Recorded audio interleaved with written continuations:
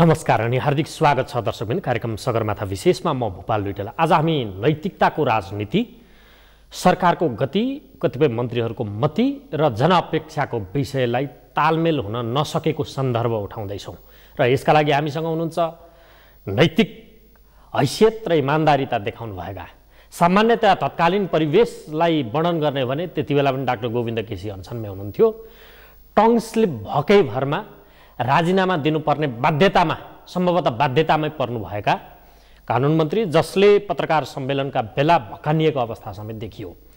जसको मन शुद्ध थियो उसले इमानको राजनीति देखाएर त्यो पद त्याग्नुपर्ने अवस्था र यहाँ यतिसम्मका विषयहरू बाहिरिएका छन् ती व्यक्तिहरू त्यो लालचमा बसिरहेको अवस्था किन यस्तो छ राजनीति? मन्त्रीहरूको मती आम रूपमा सरकारको गति जनअपेक्षा बिच तालमेल किन हुन सकेन? यस्तै सन्दर्भमा पूर्व कानुन मन्त्री सिन्धुपाल्चोकबाट निर्वाचित प्रतिनिधि सभा सदस्य शेरबहादुर तामाङसँग आज हामी संवाद गर्दैछौँ। स्वागत छ यसलाई नमस्ते। आराम हुनुहुन्छ? एकदम ठिकै छ। पृष्ठभूमि बताएँ मान्छेलाई नैतिकता केले सिकाउँछ? यो अलिकति बडो पढाउनु पर्ने विषय आइसक्यो कि? यो चाहिँ हाम्रो पूर्वीय दर्शनमा वास्तवमा नैतिक शिक्षा हामीले पहिल्यैदेखि अब सिक्दै आएका विषय पनि हुन् र हाम्रा अग्रजहरूले ती कुराहरू हामीलाई पढाउँदै पनि आएका हुन्। फिल गर्ने कुरा हो कि यो? तर पनि सबै मान्छे नैतिकवान हुँदैनन् सबै मान्छे नैतिकतामा बस्दैनन् भन्ने आधारमै त यो पछिल्ला कालमा हामीले धेरै अन्य सङ्घ संस्थाहरू खडा गऱ्यौँ। अदालत खडा गऱ्यौँ कानुन बनायौँ अनि त्यस पछाडि हुँदा हुँदा त कानुनले मात्र पनि अझै त्यो सामान्य कानुनले मात्र भएन मान्छेलाई डाम्ने कानुन बनायौँ। अर्थात् को अनैतिक हुन्छ कसैले भ्रष्टाचार गर्छ भने उसलाई नियन्त्रण गर्नको लागि हामीले भ्रष्टाचार नियन्त्रण गर्ने कानुनहरू बनायौँ त्यस्ता संस्थाहरू खडा गऱ्यौँ। यस कारणले ती सबैहरू जन्मिने हुन्।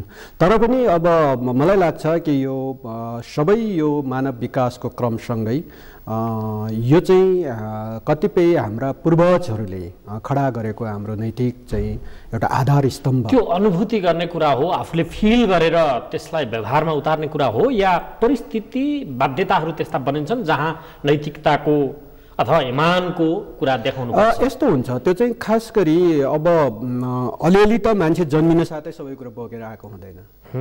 किन उसको भित्रबाट उसले के फिल गर्छ? बाहिरबाट पनि तप तपाईँलाई तपाईँले भित्रबाट चाहिँ कुनै कुरा अनुभूत गरेन तपाईँले भित्रबाट ग्रहण गरेन भने मैले बाहिरबाट भनेको कुराले मात्र तपाईँलाई कुनै असर पर्दैन नि। त्यसो भएको हुनाले अनुभूति गर्ने कुरा चाहिँ भित्रैबाट हो। परिस्थिति एउटा कारण हो अनुभूति आफैमा अनुभूति आफैमा हुनुपर्छ किनभने परिस्थिति त कस्तो कस्तो परिस्थिति आइपर्छ आइपर्छ नि मान्छेको जीवनमा। मान्छेको जीवनमा तपाईँ मान्छे फ्रस्ट्रेट भएर चाहिँ इभन तपाईँको चाहिँ होइन मानसिक रूपमै असर परेको घटनाहरू पनि त छन् नि।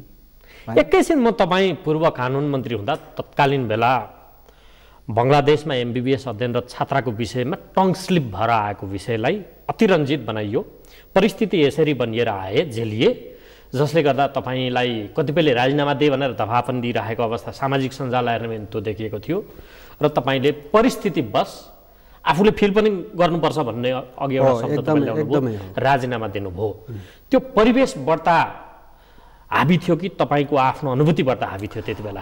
यस्तो भयो। त्यति बेलाको तत्कालीन परिस्थितिमा चाहिँ जति बेला अलिक बढी त्यसलाई इलाबोरेट गर्ने खालको परिस्थिति।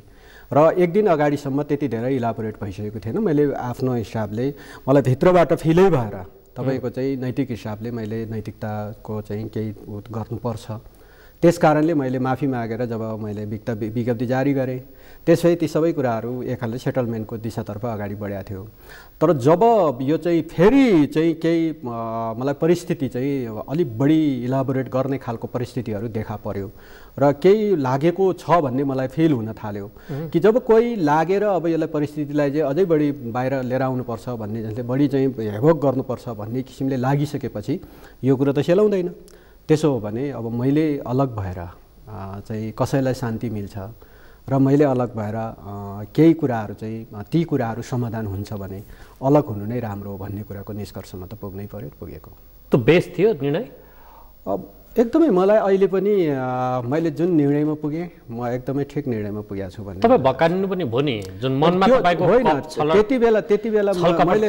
होइन मैले त्यति बेला पनि प्रश्न गरेको छु किन त्यस्तो चाहिँ भक्कानिने अवस्था आयो भन्दा चाहिँ जुन कुराहरूको चाहिँ एउटा एउटा इमानपूर्वक राष्ट्रमा सेवा गर्छु भन्ने अभिप्रायका साथ मैले सुरुदेखि किनभने राजनीति गरेकै त्यसको लागि हो त्यसले सुरुदेखि मैले जुन स्टेपहरू चालेँ र त्यो स्टेपहरूमा मलाई समर्थन खास गरी आम जनता र मिडियाको पनि त्यो खालको समर्थन थियो। र त्यो दिन वास्तवमा त्यहाँको उपस्थिति र मेरो बारेमा के हो भन्ने कुराको जिज्ञासा मान्छेहरूको त्यो त्यो चाहिँ समूह र आम जनताको पनि त्यो खालको चाहिँ एउटा चाहिँ मप्रतिको एउटा चाहिँ स्याम्पेथी। त्यो देखिएको कारणले हो। म म चाहिँ त्यो पद छोड्नु पर्नको कारणले। होइन तपाईँलाई लालचसँग जोडिएन। तपाईँको इमानमाथि कसैले प्रश्न पनि उठाएन नि। त्यस पछाडि तपाईँको कद अझ बढी बढेर गएको त आम रूपमा मानिसले मूल्याङ्कन गरेका हुन्। त्यो तपाईँ आफैलाई अनुभूति पनि भएको होला। छलकपट थिएन मनमा। इमानका साथ काम गरिराख्नु भएको थियो र शब्द अलिकति टङ्स्लिप जुन तपाईँको नियतमाथिको प्रश्न टङ्स्लिप हुँदा राजीनामा दिनुपर्ने परिस्थिति त्यसरी निर्माण भएर आयो। जुन आफूले अनुभूति गरेर फेरि त्यो त अनुभूति नगरेको भए त राजीनामा दिनैपर्छ भन्ने कानुनमा थिएन। थिएन थिएन। तपाईँले जुन बाटो तय गरिराख्नु भएको थियो नि कानुन मन्त्रालयमा बसेर रणनीतिहरू बुन्नु भएको थियो त्यो बाटो आजको दिनमा त्यही गतिमा अघि बढिरहेछ या त्यो बाटो बिराउँदा बेकार राजीनामा गरेछु भन्ने दुःख पनि लाग्छ। के भएको छ? अलिकति केही केही बाटोहरू कतिपय चिजहरू जति बेला हामी चाहिँ एकदम प्रेसरमा पनि थियौँ संविधानको मौलिक हक कार्यान्वयनसँग सम्बन्धित कानुनहरू निर्माण गर्नुपर्थ्यो थुप्रै कानुनहरू दर्जनौँ कानुनहरू हामीले क्लियर गर्न थियो। मैले ती सबै कानुनहरू क्लियर गरेर अगाडि बढाइसकेका थिएँ। र ती कानुनहरू पछि अब संसदमा आउँदाखेरि आयो ती सबै कानुनहरू आए। किनभने एउटा समयको प्रेसरको कारणले आयो त्यो त्यसमा ट्र्याकमै हिँडेको थियो भन्ने मलाई फिलिङ छ। तर कतिपय कानुनहरू अहिले पनि मैले त्यति बेला सम्पत्ति सार्वजनिक पद धारण गरेका मान्छेहरूको सम्पत्ति सार्वजनिक गर्नुपर्छ भन्ने इस्युलाई मैले बोकेर हिँडेको थिएँ।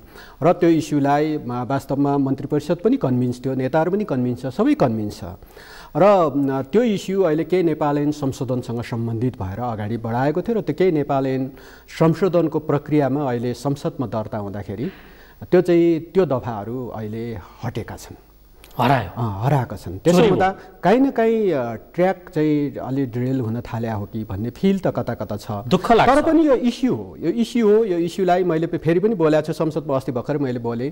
किनभने केही नेपाल ऐन संशोधन गर्दाखेरि त्यो केही नेपाल ऐन संशोधन गर्ने केही शब्द शब्द अलि नमिलेको कुराहरूलाई संशोधन गर्नु पर्नाको कारणले त्यो त्यो चाहिँ ऐनको संशोधनको ग्रेभिटी चाहिँ त्यसले बोक्न नसक्ने कारणले नआएको हो भने ठिकै छ त्यो पनि भनिदिनु पऱ्यो तर यदि होइन भने त त्यो त त्यही त्यही दफामा त्यही त्यही कानुनमा अगाडि बढेको थियो।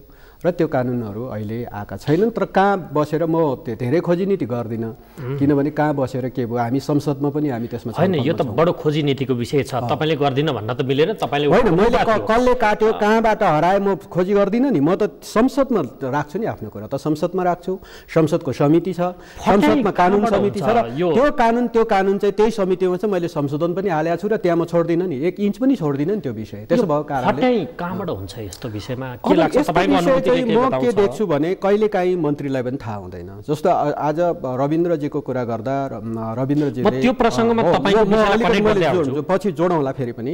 तर उहाँलाई जानकारी नभइकन कतिपय चिजहरू अब फाइलहरू अगाडि बढाए पनि हुनसक्छ होइन? अब त्यसो हुँदा कहिलेकाहीँ क्याबिनेट पनि तपाईँको चाहिँ ठिकै छ प्रस्ताव आइहाल्यो। दिउँ भन्ने ठाउँमा पुग्न सक्छ। सबै मान्छेहरूले त्यही गहिराइमा बुझेर ठ्याक्कै डिसिजन गर्ने ठाउँमा नपुग्न सक्छ। अनि अहिलेको अहिले नै यो प्रस्तावहरू बढाउँदा अलिक अप्ठ्यारो पो हुन्छ कि क्या हो? भन्ने ठाउँमा केहीलाई लाग्या पनि हुनसक्छ लाग्न पनि सक्छ। त्यो लाग्यो भने ठिकै हो ठिकै हो भन्ने ठाउँमा पुग्न पनि सक्छ। तर त्यसको ग्रेभिटी के हो त? त्यो किन आवश्यक छ भन्ने कुरा मैले जति फिल गर्छु नि।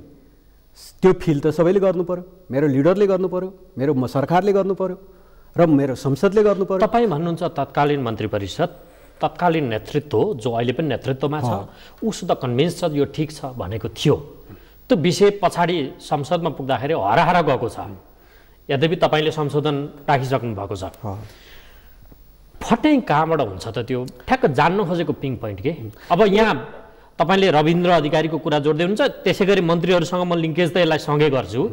त्यसकारण म यो जान्न खोज्दैछु कि? यो चाहिँ मैले ठ्याक्कै यही पोइन्ट यही ठाउँमा हुन्छ भन्ने कुरा त अब त्यो ठ्याक्कै भन्न त अप्ठ्यारो नै हुन्छ।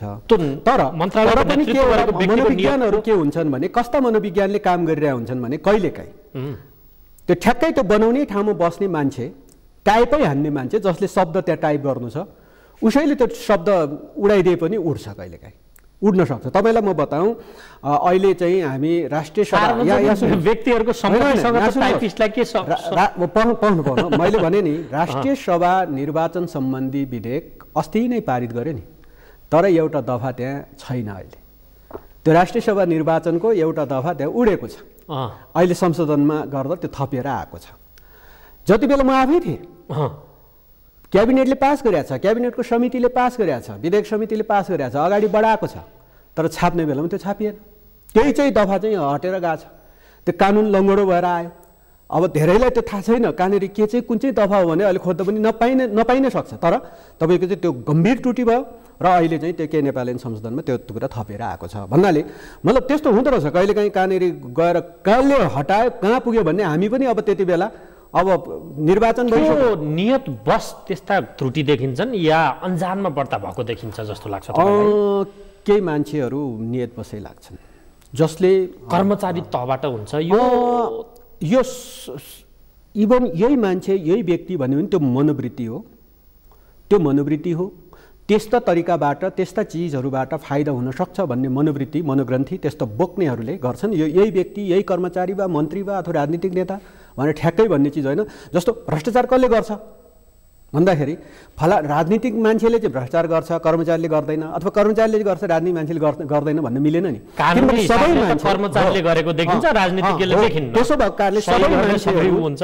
सबै मान्छेहरू सबै वर्ग समुदाय पेसा त्यसको त्यसैले त भ्रष्टाचारीको चाहिँ कुनै वर्ग पेसा समुदाय जात धर्म केही हुँदैन भन्छन् नि।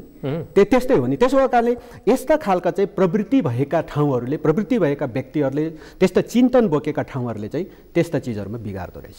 अहिले भएको अब यसलाई ठ्याक्कै यही भन्ने तपाईँबाट जवाफ नआए तापनि म यसलाई लिङ्केज गरेँ अब। अहिले आएको रैदालो भएर उजागर भएको विषय जहाँ मूल नेतृत्व समेत मुसिने अवस्थामा पुगिसक्यो। आजै काङ्ग्रेस सभापतिले भन्नुभयो वाइट बडीको विषयमा म कसरी मुसिन्छु? बरु प्रचण्ड र केपी ओलीले यसको पैसा खाए। उहाँले कैलालीमा गएर पत्रकार सम्मेलन मार्फत यो भन्नुभएको छ। भर्खरै आजको समाचार आएको यो धनगढीको पत्रकार सम्मेलनमा।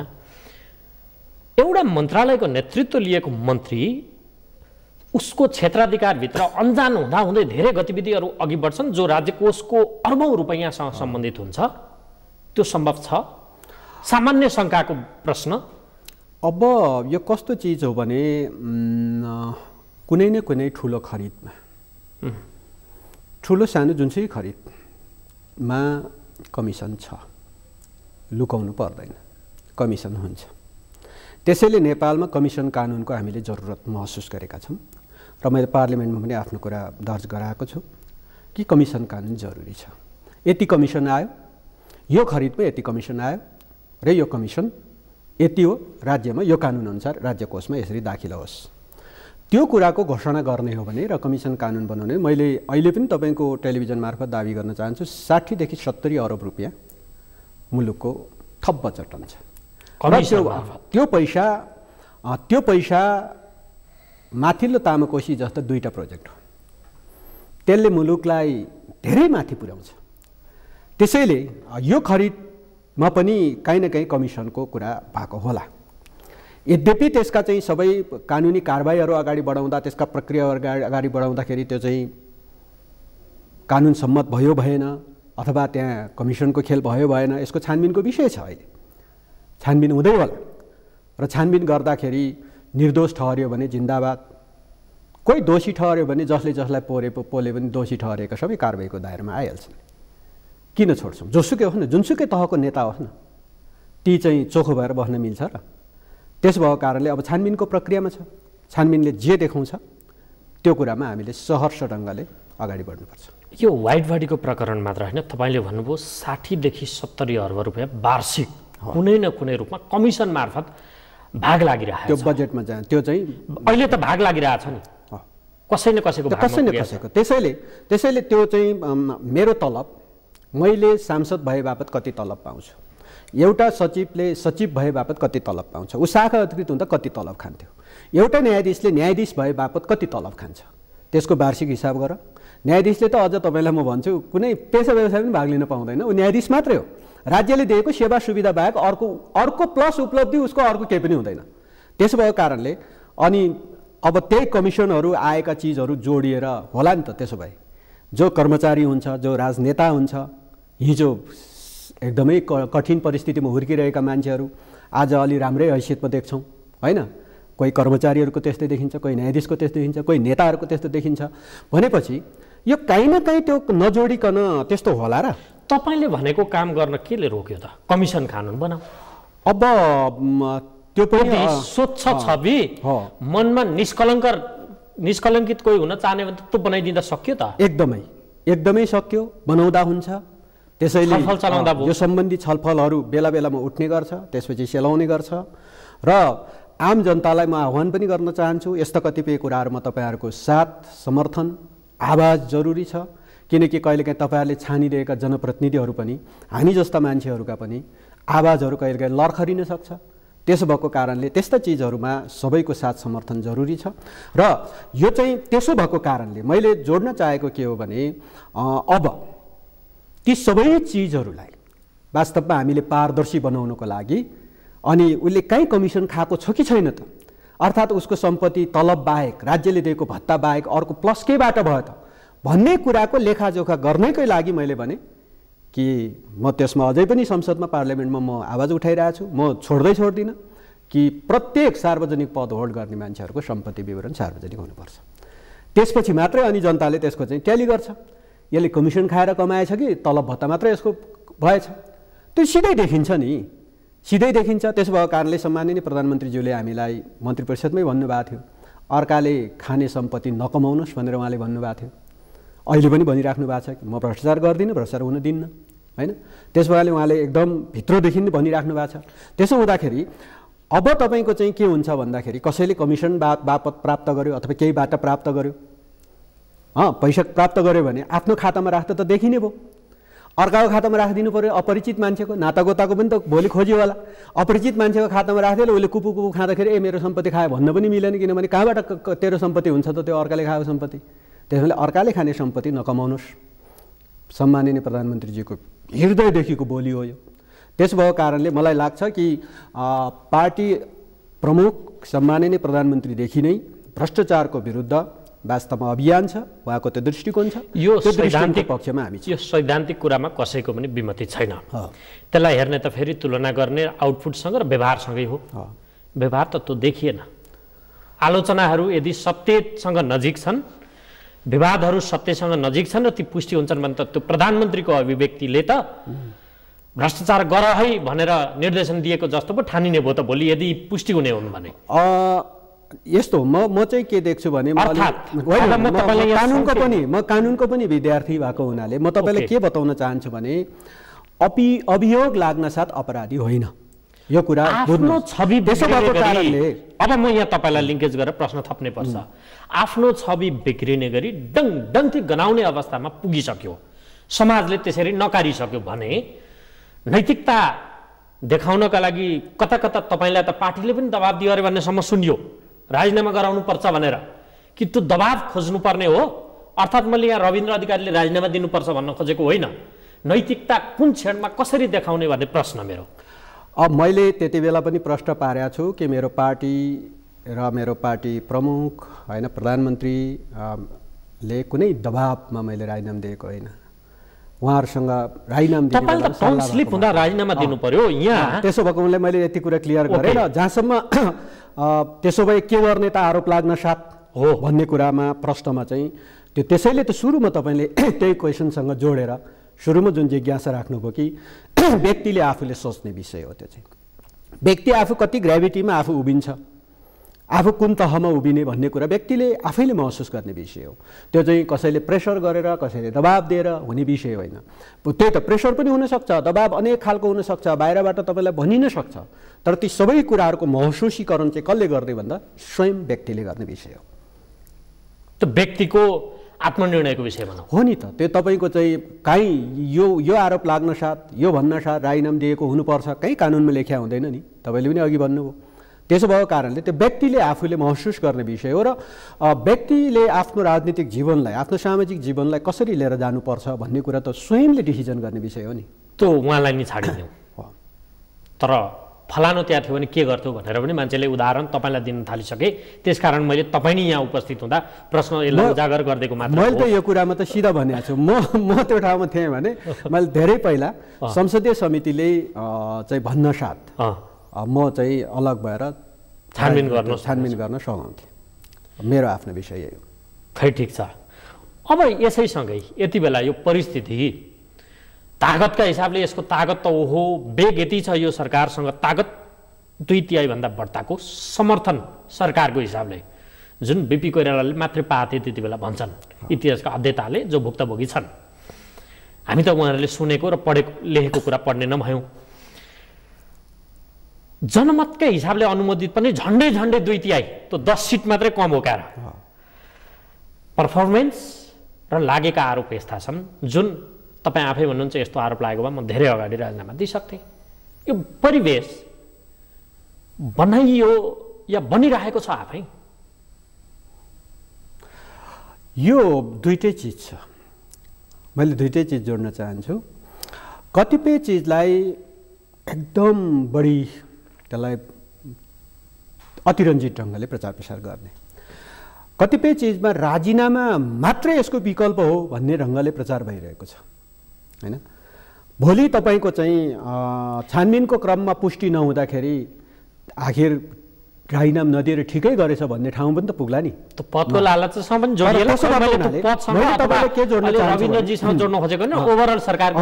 त्यसो भएको हुनाले मैले ओभरअलमा चाहिँ त्यो त्यसरी अतिरञ्जित ढङ्गले प्रचार गर्ने प्रवृत्ति पनि छ। त्यो प्रवृत्ति अहिले हाबी छ। त्यो प्रवृत्ति बिस्तारै अब त्यसले कामको पर्फर्मेन्स देख्दै गएपछि त्यो प्रवृत्तिहरू आफै सेलाउँछन्। त्यस भएको कारणले सरकारले कामको आफ्नो रफ्तार बढाएर तपाईँले चाहिँ अघि नै भन्नुभयो कि आफ्नो गति बढाएर पर्फर्मेन्स देखाउन थाले पछाडि त्यो प्रवृत्ति आफैमा सेलाउँदै जान्छ। त्यसैले हो कामको पर्फर्मेन्स देखाउन चाहिँ मैले जहाँ पनि भन्ने गरेको छु कि हो दुई तिहाई नजिकको र अहिले सरकारको हिसाबले त दुई तिहाई नै। किनभने समर्थन गरेर अर्को पार्टीलाई समेत लिएर दुई तिहाईकै समर्थन लिएर सरकार छ।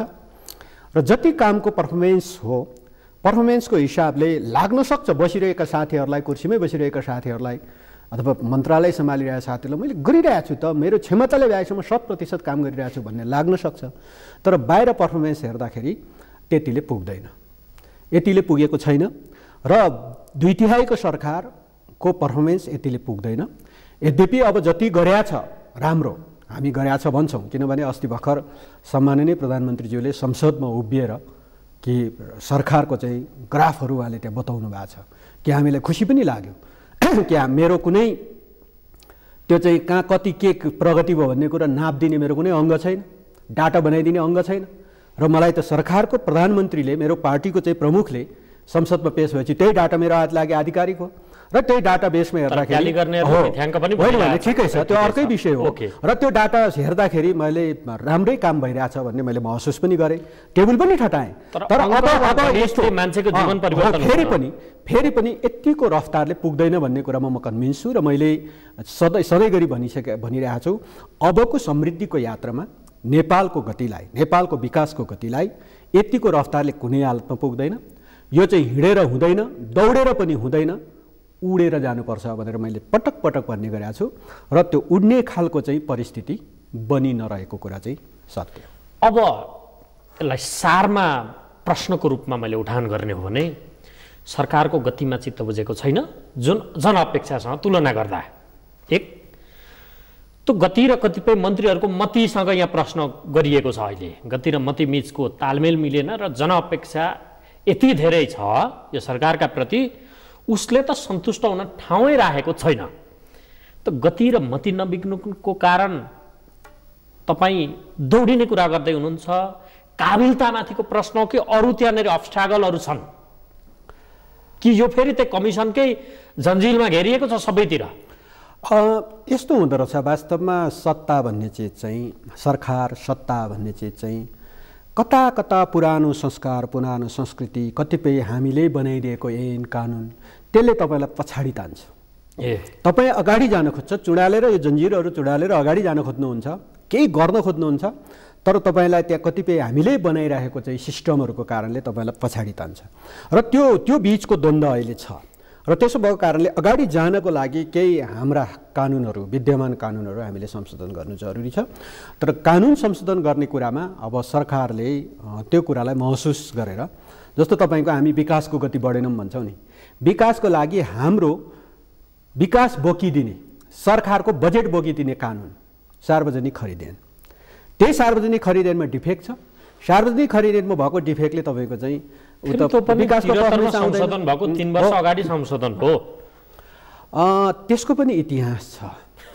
त्यसको पनि इतिहास छ मैले कोट्याउँ। थोरै म समय थोरै लिन चाहन्छु यसमा। हामीले त्यो सम्बन्धी एउटा राम्रो अध्ययन अर्थ समितिमा हामी गर्दै थियौँ। र अघि तपाईँले कसले गर्छ त त्यो भन्ने त्यस्तै समूह कुनै समूह मिल्यो। ती समूहले त्यति तत्कालीन प्रधानमन्त्री सुशील कोइरालालाई प्रभावित गर्यो। कि त्यो कानुन उता पो छलफल हुँदैछ? यहाँबाट लानु पर्यो भनेर प्रधानमन्त्री कार्यालयबाट फाइल उठाइयो। जो कि अर्थ अर्थ मन्त्रालयबाट उठाउनु पर्ने फाइल प्रधानमन्त्री कार्यालयबाट उठाइयो। त्यो सं त्यो कानुन संसदमा आयो।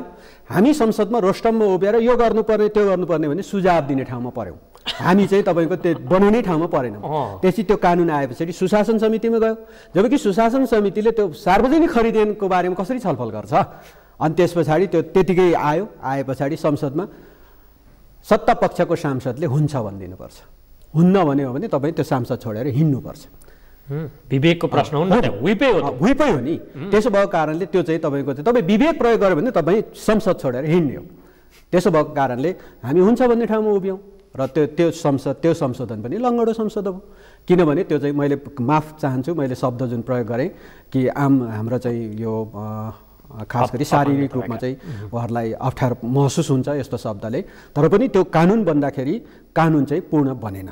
त्यो कानुनले चाहिँ हामीलाई चाहिँ वास्तवमा त्यो कानुनले एकदमै हामीलाई चाहिँ अझै पनि किन कोही एउटा निर्माण व्यवसायीले काम जिम्मा लिन्छ दुई वर्षमा सक्नुपर्ने काम दस वर्षमा नसक्दा नगर्दा पनि अनि ऊ कारवाहीमा पर्दैन। किन भन्दा त्यही कानुनमा डिफेक्ट छ। यहाँ चट्टान जस्तो चट्टान जस्तो बलियो उच्च कद सगरमाथा जस्तो भएको राजनैतिक व्यक्तित्व पनि हो।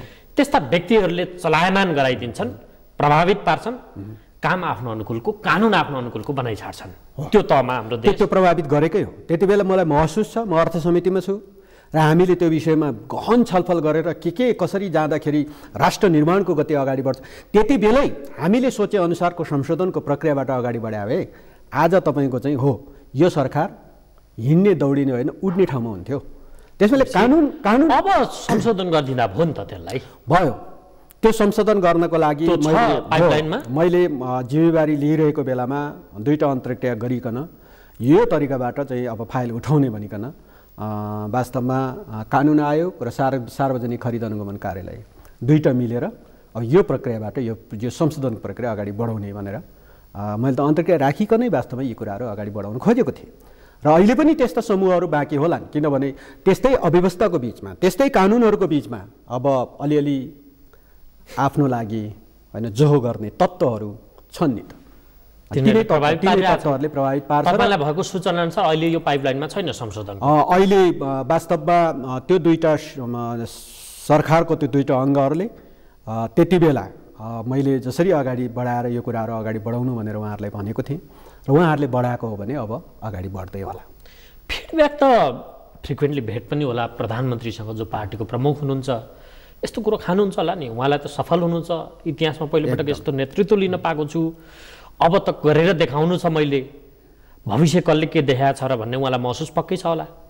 न उहाँको परिवार छ। सारा देशलाई परिवार जस्तो ठानेर काम गरिराख्नु भयो होला। त्यसमा शङ्का छैन। प्रधानमन्त्री हो। पार्टीको नेता त होइन आज। प्रधानमन्त्री भइसकेपछि देशको नेता। यस्ता कुराहरू त खानका लागि तपाईँहरूले सुझाव फिडब्याक सूचना पुर्याउनु पर्यो नि। कि पुग्ने ठाउँै एक्सिस छैन? त्यो त किनभने आफ्नो पार्टीको नेता आफूले चाहिँ मानिआएको चाहिँ होइन प्रधानमन्त्री अहिलेको चाहिँ सरकारको नेतृत्व मुलुकको नेता। त्यस भएको कारणले सुझावहरू त पुग्छ नै। हामी दिन्छौँ पनि। र उहाँले त्यो अनुसार- त्यो अनुसार उहाँले प्रयत्न पनि गरिराख्नु भएको हामीले महसुस गर्छौँ। कोसिस गरिराख्नु भएको छ। र कतिपय पर्फर्मेन्सहरू आजको भोलि नै आउँदैन। कतिपय चिजहरू उहाँले जुन एउटा दृष्टिकोण बोकेर जुन एउटा राष्ट्रलाई निर्माण गर्ने जुन ड्रिम बोकेर उहाँ अगाडि बढिराख्नु भएको छ। कतिपय मान्छेहरूलाई अहिले खिसिट्युरी गरिरहेका छन्। यस्तो नहुने कुराहरू हुँदै हुँदैन भन्ने खालको खिसिट्युरी पनि गरिरहेका छन्। तर मलाई विश्वास छ। किनकि यो मुलुकले अब गति त लिन्छ। र त्यो केही कुराहरू बाहिर आउनको लागि त्यसका पर्फर्मेन्स त्यसका रिजल्टहरू आउनको लागि केही समय लाग्ने हुँदाखेरि आजको भोलि नै हाम्रो नेपाली मानसिकता चाहिँ ठ्याक्क स्विच थिचेपछि तुरुन्तै चाहिँ त्यहाँ बलिहाल्नु पर्ने खालको महसुस गर्छौँ हामी। त्यसैले म चाहिँ के देख्छु भने उहाँमा कुनै खोट छैन। उहाँले भित्री मनबाट अब केही बिगारौँ केही गरौँ केही चाहिँ मान्छेलाई भ्रममा पारौँ भन्ने उहाँको देख्दिनँ किन मैले आफूले लामो समय त्यही पार्टीमा रहेर म काम गरिरहेको छु नि। तर- त्यो सबै महसुस हुँदाखेरि उहाँमा त्यस्तो देखिँदैन। तर यद्यपि मैले भने कि कतिपय हाम्रा ऐन कानुनहरू हाम्रा चाहिँ काम गर्ने संस्कार शैलीहरू होइन तपाईँको चाहिँ इभन कस्तो देखिन्छ भने एउटा सामान्य अफिसमा पनि एउटा फाइल एउटा फाइल तपाईँको चाहिँ एउटा टेबलबाट अर्को टेबलमा पुग्नलाई दस मिनट पनि लाग्दैन तर दसौँ दिन दसौँ महिना लाग्दिन सक्छ। त्यो त त्यो त काहीँ न काहीँ त्यो त समस्या छ नि। अनि त्यो समस्या पनि हुन त सरकार अन्ततोगत फर्स्ट मेनलाई गएर त ठोकिँदो रहेछ। सरकारले गरेन भन्ने ठाउँमा हुन्छौँ। त्यसो भएको हुनाले त्यस्ता कति प्र प्र- प्रवृत्तिहरू हामीसँग छ र ती प्रवृत्तिले ब्याक तानिरहेको अवस्था छ। अन्तिम प्रश्न समय सकिएकै कारण। एक वर्ष लगभग सक्यो एक महिना नै बाँकी छ। अन्तिम वर्ष चुनावी वर्ष मानौँ। बाँकी रह्यो तिन वर्ष। तिन वर्षमा जे कल्पना गरियो जे लेखियो विगतमा। चुनाव ताका त बाँडेको छ नि आश्वासन लेखेर हो त्यो त आधिकारिक हो। तिनीहरूकै नेतृत्वको सरकार हो अहिले दुइटा मिलेर बनेको एउटा पार्टीको सरकार हो। त्यो प्राप्त हुन्छ भन्ने विश्वास गर्न सकिन्छ? विश्वास। म चाहिँ अब पोजिटिभ नै सोच्ने मान्छे। तपाईँले नेगेटिभ भन्न त मिलेन तपाईँ त्यसको क्याडर नै हुनुहुन्छ कारणले म चाहिँ के देख्छु भने तपाईँलाई खति नहोस् है सिन्धुपाल्चोकमा त्यत्रो मत ल्याएर पूर्व एउटा पार्टीको अध्यक्षलाई त्यसरी पराजित गरेको व्यक्ति तपाईँलाई खत नलागोस् भन्ने मात्रै मेरो एकदम ठिकै हो। एकदम धन्यवाद। तपाईँलाई धेरै धन्यवाद पनि छ त्यो चाहनु भएकोमा वास्तवमा यही यही रफ्तारले यही रफ्तारले गेन गर्न सक्दैन। मैले अघि नै पनि भने पर्छ। अहिले अहिलेको रफ्तारले गेन हुँदैन। तर मलाई विश्वास छ कि अब मैले समय डिक्लेयर गर्दै नि तिन वर्ष। अब अबका काम कारबाहीहरूले अब हामी जुन ढङ्गले अगाडि बढ्छौँ ती काम कारबाहीहरूले जनतालाई गरेको बाचा बन्धन हामी पूर्ण गरेर देखाउँछौँ भन्ने कुरामा चाहिँ मलाई विश्वास छ। तर रफ्तार बढाउनु पर्यो रफ्तार तपाईँको शर्त यति यति यति रफ्तारले पुग्दैन। हस् समय दिनुभयो तपाईँलाई धेरै धेरै धन्यवाद। मेरो पनि धेरै धन्यवाद। र आदरणीय दर्शकहरू कार्यक्रमको निर्धारित समय सकियो। आज हामीले नैतिकताको राजनीति सरकारको गति र आम जनअपेक्षा पुरा हुन नसक्नुका कारणहरू समेत खोतल्दै पूर्व कानुन मन्त्री सिन्धुपाल्चोकबाट निर्वाचित प्रतिनिधि सभा सदस्य शेरबहादुर तामाङसँग संवाद गऱ्यौँ अर्को अङ्कमा अर्को विषयवस्तुका साथ तपाईँ हाम्रो भेट हुने नै छ। हामीलाई आजलाई बिदा दिनुहोस्। नमस्कार।